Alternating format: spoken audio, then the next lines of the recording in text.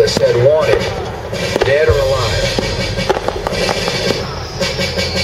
Tonight, I can report the United States has conducted an operation that killed